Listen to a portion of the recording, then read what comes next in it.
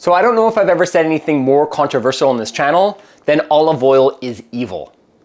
And I don't mean that olive oil is really evil. I'm just trying to make a dramatic point in which using olive oil to cook with in cast iron and carbon steel and stainless steel can create a lot of problems.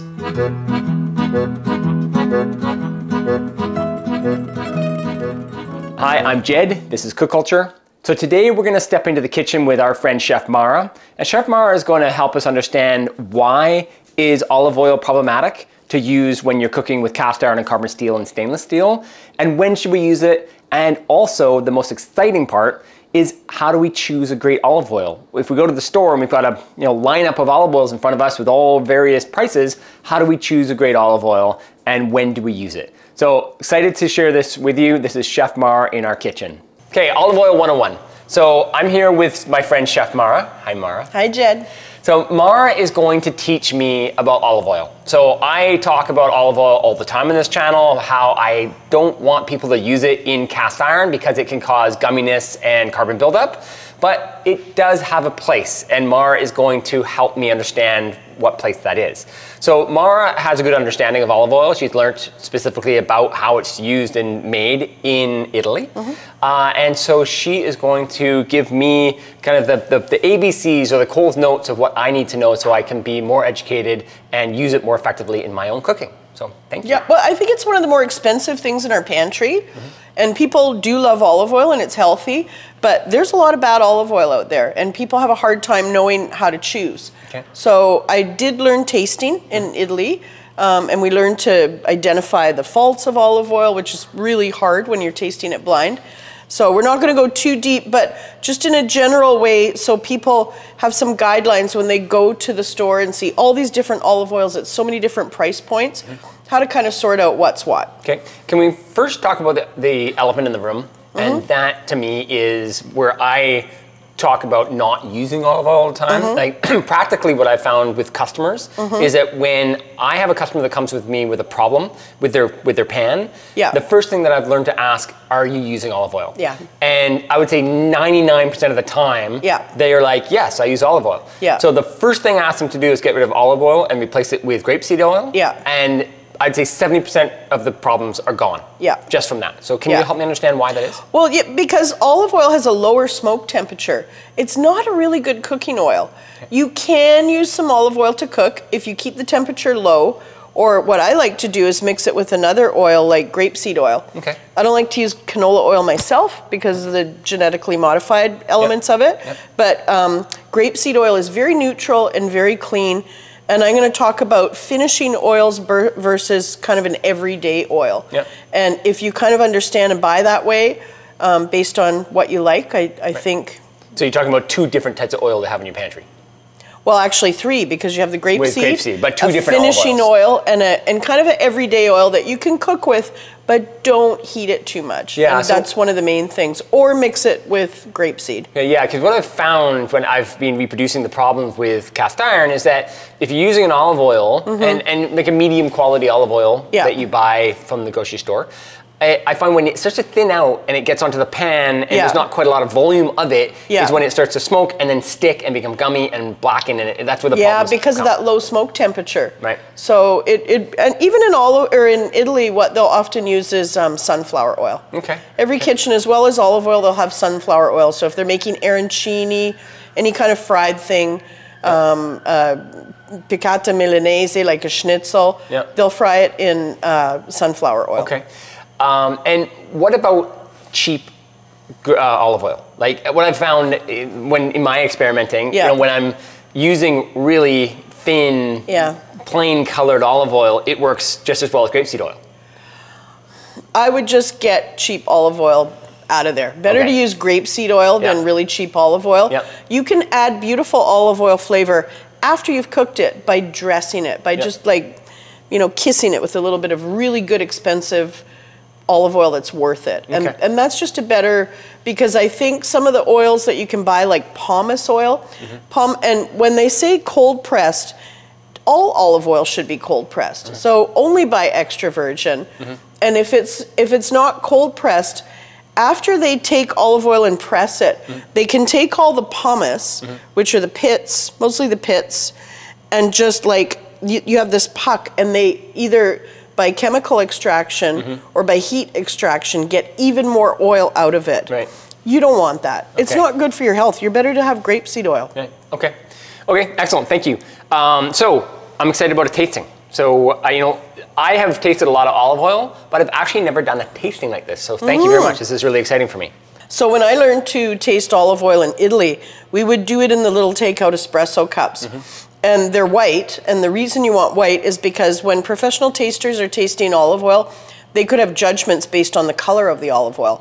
So if you have a white one, then you're not going to really look at the So do color. you think when we see something like, like that's deep and green and fruity, we're like, oh, that's going to be yummy? Mm-hmm. Yeah, Right, yeah, okay. yeah. Yeah, It's yeah. the the visual judgment. Yeah. And then also, um, just on that kind of on that subject, olive oil is also stored in dark bottles Mm-hmm. because sun affects it and it affects the nutrients and the quality and it can make it go rancid quicker. Mm-hmm. So keep it in your cupboard. And, and you'll know that it's and don't ever buy olive oil that's not in a dark container. Yeah. Okay. Awesome. Okay. So where are we starting? We're going to start with, as I as I mentioned, I have two grades of olive oil in my house. So I usually have two oils, and I brought a representation of each kind. This is kind of an everyday oil. You can make, you know, if you just want to make a vinaigrette that has mustard and all kinds of stuff in it, or Yeah. um, if you do want to use a little bit of it in cooking, either on its own or to mix with canola oil, you want a cheaper everyday oil. Still extra virgin, Yeah. and I still like to know the origin of where it's from. So I used to use this one quite a bit, uh, Italissima. That was kind of my everyday oil. But Yeah. since then, I've been buying this one, and that's the one I prefer. Yeah. And then here's another one because we sometimes see them in cans. Yeah. So I have a favorite. Mm-hmm. I'm not going to tell you which is. Okay. Well, I mean, I kind of already have, but I want you to just taste. There's one sample of each, and Okay. we're tasting them out of little mini ramekins. Yeah. Now, the way you taste olive oil is you take it and you, this is going to be a little bit strange. Okay, so this is So I'm going to out of the tin. explain it first. Yeah, Yeah. we're going to start. This is number one, two, three, four, five, six. Okay. So we're going to take number one, and what you're going to do is just take a little sip, and then you're going to um, aerate it and push it back to your mouth. You're going to go kind of like, Nice. Like, like Like pull that? It, pull it through. Yeah, but like, you- you actually- that when you there's a thing that you do with teeth that you do a is it salt water or something that you pull your teeth pulling pulling teeth. You ever heard of that? No. Anyways, yeah. Anyways, so the thing that you do. I've So, done that before. but you're sucking air in, and it's going to allow the oil to go to the back. So you kind of get it in all parts of your mouth, in the front, and the side, and Okay. at the back. okay. And then you don't have to take it all, but take a little sip.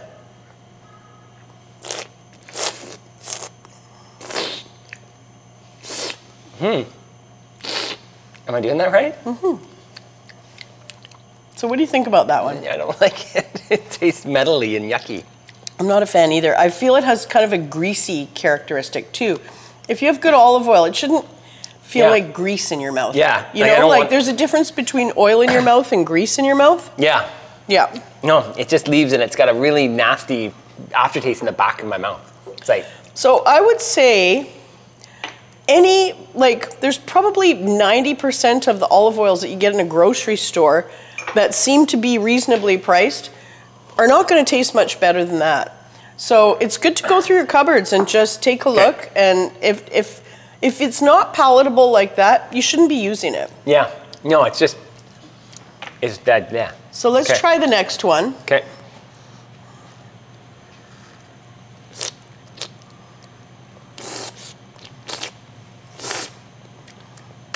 Am, am I doing that right?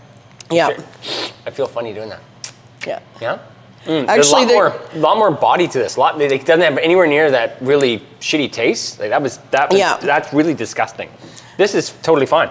Yeah. It's neutral. There's not a lot of flavor to it. It's a bit. It's kind of new. I find it a little bit buttery, like it's as opposed buttery to greasy. for sure. it's kind buttery. of buttery. Yeah, it's got a lot of fatness to it. Like, Yeah. It got all of my lips right away, and there's a lot of fat Yeah. to it, which is totally fine. You kind of want that in olive oil. Yeah. Um, not a lot of flavor, Yeah. And a little bit of an acidic taste in the back of my mouth. Yeah. So it's like it's just kind of like a it's it's just flavorless kind of fat. Yeah. It's like almost like melted butter without the butter taste. Yeah. You already said that, I think. Yeah, that's what it tastes like. So there's an important thing I forgot to show you. Had a bit of a cold this week, so I'm not smelling as much as I should. So Uh. we have to start by smelling it. So let me show you something about Doesn't smelling smell it. much. Doesn't matter because we didn't need to do a deep dive into those first two anyway. Yeah. Take your hand and put it over top. Yeah. Then take the bottom of your hand and just warm it up. And this time we're going to smell it before we taste it. A bit sticky. You're just heating it slightly.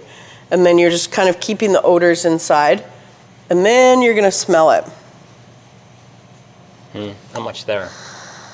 Yeah, it's pretty light on the nose. Like it but it's not unpleasant. We Yeah, don't smells like smell, olive oil. We don't No. smell anything moldy, Totally. vinegary, rancid. No. Um, and those are some of the faults, or um, Okay. uh, scalded. Those Yep. are some of the faults that you can get Okay. with olive oil. We're not smelling No, that. No, it smells like olive oil, just not very much. not very exciting. Yeah, not very exciting. Okay. Definitely, definitely. Mm. Yeah, A little bit better, right? Yeah, yeah, A yeah. little bit more character. yeah, yeah. There's like there's like flavors in it. Mm-hmm. What kind of flavors are you getting? Like a, you know when you eat like a walnut, and Okay. you finished eating the walnut, and it's like the flavor that's yes. left over. Yes. It tastes like that. Yeah. Yeah. So nutty flavors are often very common. This one's Italian, but I don't think it has. Oh no, no, this one's from Sicily. So this one's from the Belice Valley Mm, It's it's really near nice. Castelvetrano. Yeah. Nutty flavors are often quite common in the northern olive oils, Yeah. and we're going to get into a couple more southern olive oils soon. Yeah. Which has so they start producing olive oil in central Italy. Mm-hmm. So Tuscany, Liguria, Umbria, and then they go south. And the flavor profile changes quite a bit. Right, as it gets drier and And, drier. and hotter and hotter. yeah, yeah. So in the south, they get spicier. Mm-hmm. Um, often grassy, nutty flavors are what you're going to get in central Italy. Mm-hmm. And then as you get further south, you get more aggressive, kind of like tomato leaf, artichoke. Mm. You can still get grassiness, but you often get like a spicy finish at the back. Mm. Um, and if you need a little palate cleanser, you can just grab a piece of bread. Yeah. Yeah, no, I'm, I'm, I'm good. The, I, the first one definitely, I needed to like brush my teeth. Yeah. But uh, that one, like, it's a nice flavor left in my mouth. It, it tastes, it tastes really good. So now we're going to get into some oil. Okay, so these are kind of the things that you would say would be our cooking oils. If you're going to cook, these are the ones where you would, you would cook Yeah. with. Which is your favorite? Oh, definitely, by Yeah. far. Yeah, Yeah. like like no comparison. Me too. Yeah. I love this one, and it's my everyday oil at home now. Yeah, it's excellent. And price comparatively, like, is it priced fairly reasonably? I think this one's about 18 for a liter. It's not Yeah, bad. and this would be like 12 for a liter, right? uh, yeah, I Yeah. believe around that. Yeah, maybe you'll get a at 9.99. 14, maybe. Okay. Yeah, Okay, because it's so- not all price. Like, that's the thing. You have to do a tasting once in a while, and, and Yeah. actually, if you buy That's olive 750 oil, too, right? yeah, Yeah. And if you buy olive oil from somebody that you trust, you Yeah. can talk to them about it. Yeah. and try something new and take it home. Go to a tasting if if a shop offers it. And um, try a few different things and see what you think yourself. Yeah, and you awesome. can pick your own favorite. Yeah, yeah. So I'll, I'll put the name of this olive oil in the description below, so you can find it if you can locally. Yep. Great. Okay. Okay. So, that's the kind of the the basic everyday sort of olive oils that you would say. Now Mm-hmm. we're moving into the highbrow stuff. Okay, so yeah, exactly. So these are priced higher. First, we're going to start with a Spanish olive oil. Spain is really kind of storming the marketplace now. Um, there's so now we're going to look a little bit more at the label. You should always look at the label. Like I said, you don't want pomace oil. You want extra virgin always, and that's what all three of those are. This was Greek, by the way, Italian with no origin, so we don't really know where it is from. Right. It could even be, there's a lot of fraud in the olive oil business too. So this one could even be olives purchased in North Africa Right. and Tunisia pressed and that sort of thing, right? in, Yeah, yeah. in um, Right. and this one I just happen to know. I mean, they wouldn't name it after a valley if it wasn't Right. produced there. So I know that one's from. There's a lot of olives there. Yep. When you know when you get Castelvetrano olives, the eating ones, that's right there in the Belice Valley. Okay, and whereabouts is the Belice Valley in Sicily? On the west coast or It's on the east in coast? northwest Sicily. Right, so towards uh, um, uh, Palermo. Uh, yeah, kind of like southwest of Palermo. Okay. Yeah. In Corleone region.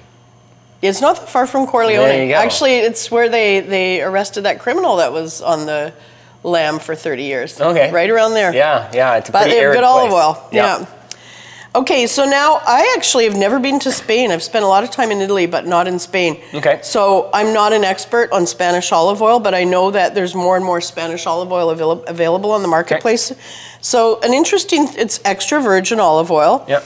Um, an interesting thing about this one, the same company produces a couple different kinds, and this one is Picual, I guess. I hope I'm pronouncing that right. And that's the variety. Mm-hmm.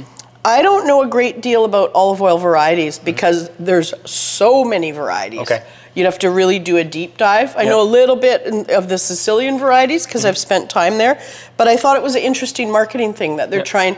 You know, we're all pretty savvy about wine and varieties in wine that Yeah. they're marketing it by Right. Putting the variety on Makes there. a ton of sense. Like when you go to the olive bar at like a Whole Foods or whatever, there's like 50 olives in front of you, Yeah. right? There's Yeah. a lot of olives out there. Exactly. Yeah. And then on the back, um, it says 100% Picual olives. It has, this is an interesting thing. It has a best before date. So Mm-hmm. the best before date is June 2023. Okay. So we're in 2023 right now. That's interesting because in Italy, at least, you cannot sell a bottle of olive oil that's more than a year old. Okay. In North America, you can sell it up to two years old. Hmm. So they can, when they have stock that they have to get hmm. rid of Hmm. Yeah. after a year, they ship it over to us. And it's still decent, but it's not going to be as bright and alive. Right. The other thing is because these are kind of so pure and you know well made, really all those qualities they're really at their best mm-hmm. in the first year. Mm-hmm. So. Okay. and their nutrition as well. Yep. Okay, so we're going to try the Spanish one together. Oh, we didn't smell it. I'm Mm. so sorry.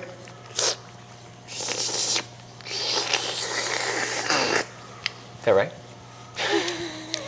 One one quick slurp to just bring it to the sides of your mouth. Oh.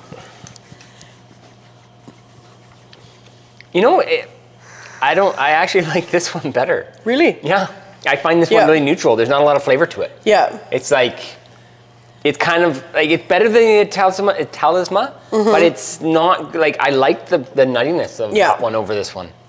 Yeah, I bought one bottle of the. I, I mean, I'd have to really, to be fair, I'd have to go to Spain and kind of explore Right. what's going on with olive oil there. Yeah. But I noticed a lot of chefs now are using Spanish Yeah. olive oil. But it's more. This is more of a premium than this one in price. Yeah. Yeah, it's a little bit more. Oh yeah. Yeah. Yeah.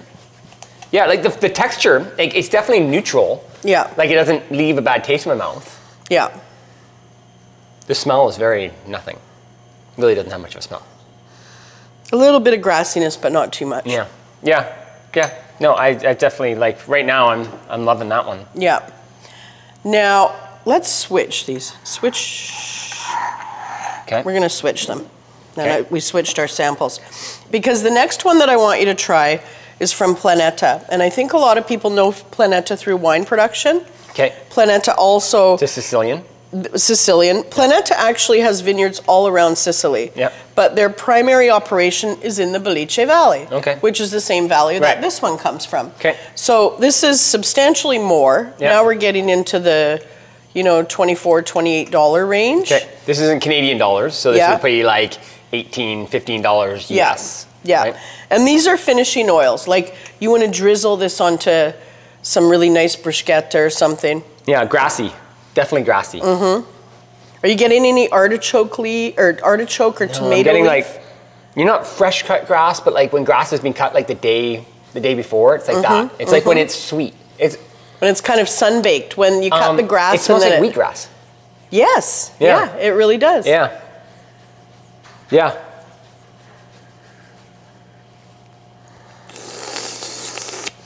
I love this oil. Super wheatgrass, like like pow. Mm-hmm. Like very green, Very very green. very alive. Wow. Tons of and hot. and it's spicy. I wasn't ready for that. Yeah, we'll have to have a drink of water.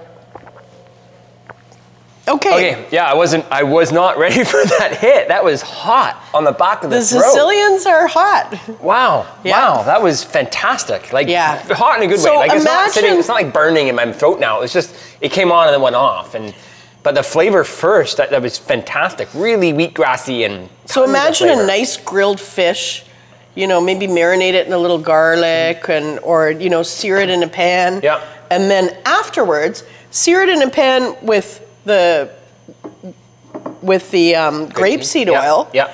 And then afterwards, do a nice little like fresh tomato chop and herbs, Mm-hmm. and just spoon that over with fresh olive oil on top of it. Yeah, with that that's olive just oil. fantastic. Yeah, yeah. That's what that kind of oil is really good for. Yeah. Or of course a caprese salad. Everybody Right. eats caprese salads. I won't eat them in a restaurant unless I have confidence that that restaurant's going to put good olive Right, oil right. on the cheese and the tomatoes. Right. So do, you, do you ever take your own, own olive oil to, to a restaurant with you? no, I haven't done that. I'm too shy to I do can, that. I can see taking that. Like, just ask for it neat and take your own olive oil. That's a great idea. Yeah, I can do that. That's a great idea. Yeah, yeah, yeah. Okay. And that- you know, if fantastic. you're, I take trips to Sicily and we go to Planeta, we go to the winery. Oh, okay. And a lot of people like to bring home. It's a nice little gift idea for people. They have little mini bottles of the olive oil, Yeah. so you could Yeah, stash yeah, that in your pocket or your Totally. purse, and that's Totally. the one you the one bring you out. just- It's yeah, like, yeah. Uh, no, I'll use my own oil, Yeah, thanks. yeah. Or just And- like, oh, no oil, thanks. eating no oil is quite common, right? People Yeah. like no oil diets, right? So Yeah. yeah, yeah. well, yeah. it's funny this whole kind of cheap balsamic vinegar and cheap olive oil dunk your bread yeah, stuff. Yeah, yeah. Well, it's the sweetness of the balsamic, right? The little bit of fat and the sugar of the Yeah, balsamic. and yeah, but it's about. really not done in Italy. It's really a North right. American Yeah, thing. yeah, yeah. Yeah. Yeah. Okay. Okay. That, that was fantastic. Super excited about that one.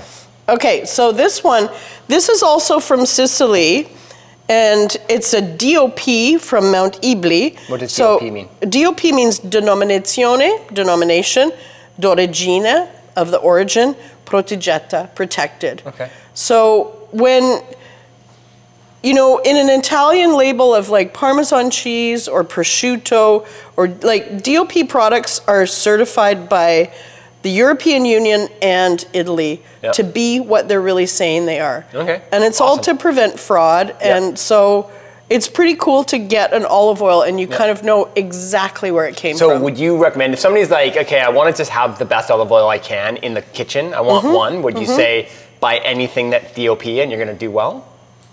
yeah.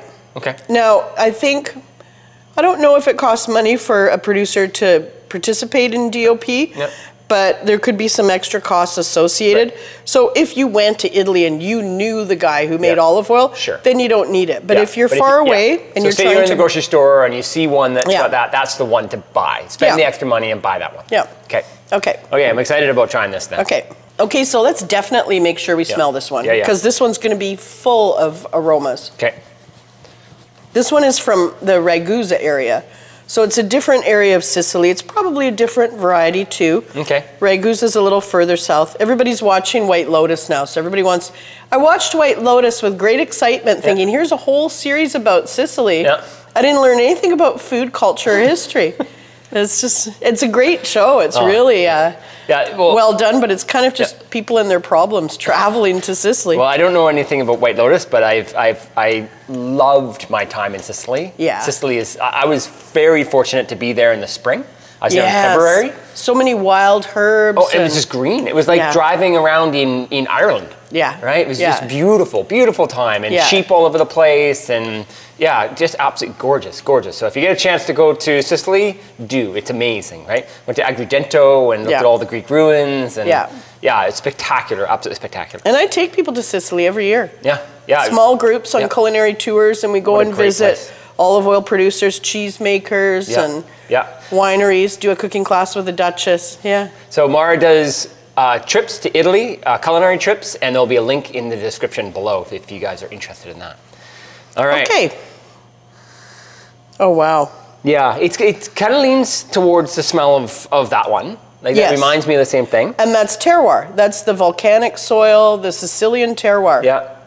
The ocean, the volcano. Those are things that Yeah. affect the way things taste. Okay, so still really grassy to me.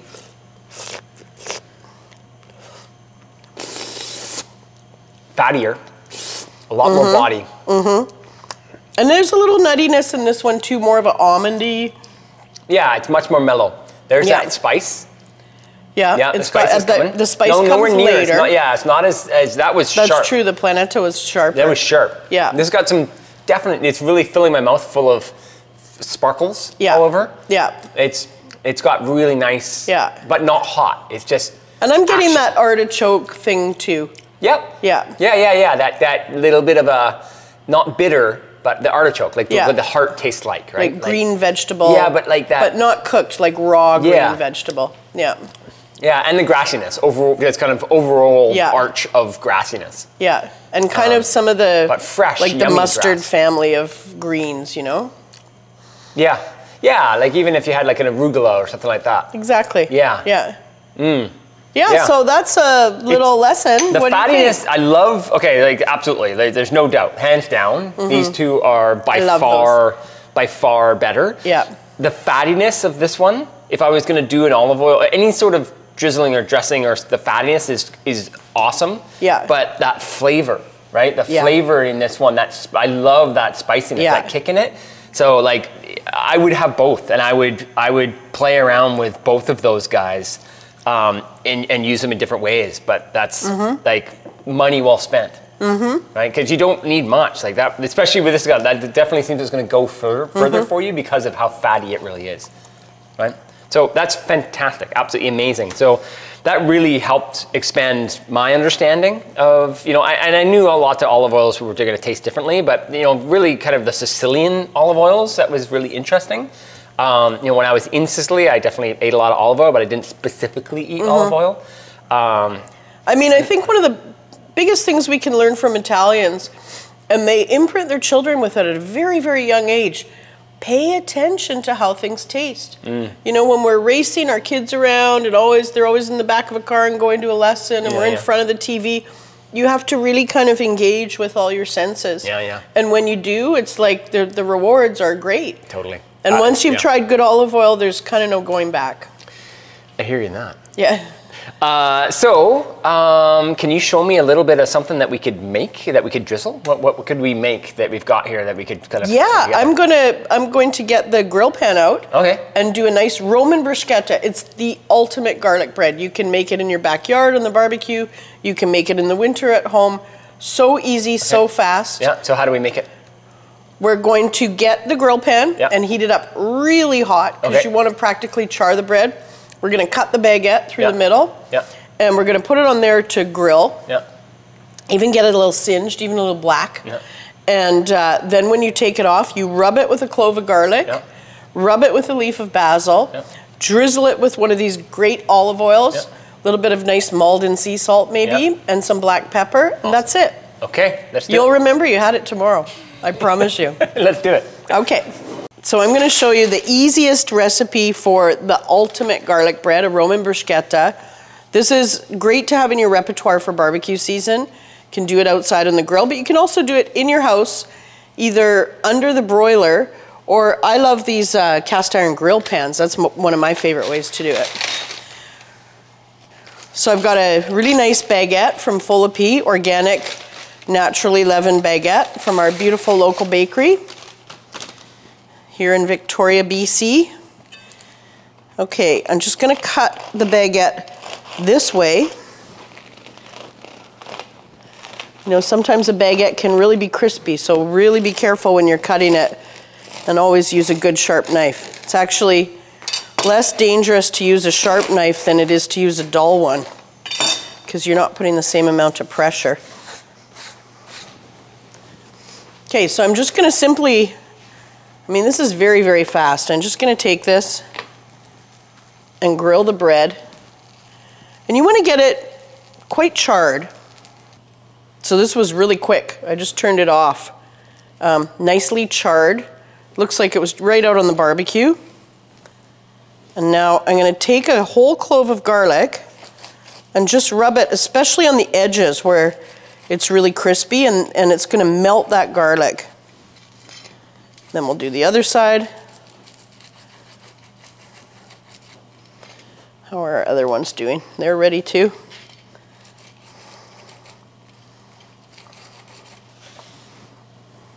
That one can use a little bit more. And then you just get a big leaf of basil.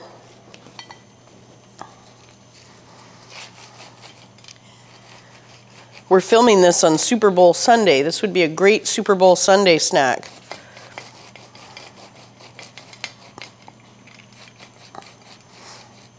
There we go. Now, this fantastic Planeta olive oil, Sicilian olive oil. generously drizzled on top.